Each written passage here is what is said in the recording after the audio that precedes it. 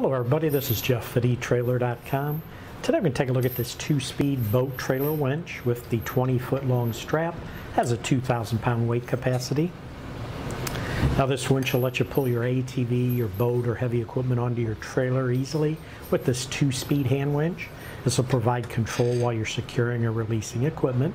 It does use a nice ratcheting mechanism here that allows for simple tightening or loosening of the strap. And it also gives you a neutral freewheel position which allows for quick line payout. Now the handle over here you can see there's two posts here. It can be moved between those two posts for different speeds depending on the application. The gear ratio with the handle on this post up here is going to be 4 to 1 which means it's going to take four rotations of the crank handle to rotate this uh, reel right here one revolution. If we move this down to the other post, so if we take this off and then you slide it down to get the other gear ratio, that'll get you an 8 to 1 gear ratio down here. And basically what that's telling you is for every rev eight revolutions of the handle, it's going to move the reel one revolution. This is constructed of a heat-treated high carbon steel to ensure strength, and it is zinc plated to resist corrosion. Now this is designed for use with winch strap R steel cable.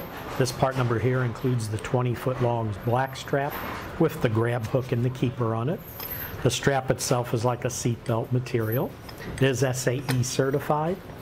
Now the handle length, you can see as we crank it, the handle length is going to be measured from here to the center here, so it's about 10 inches.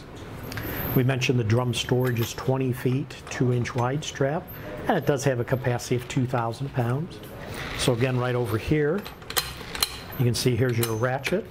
So if you want to change it for the other direction, you just pull this all the way up. And when you do that, it'll rotate in the opposite direction.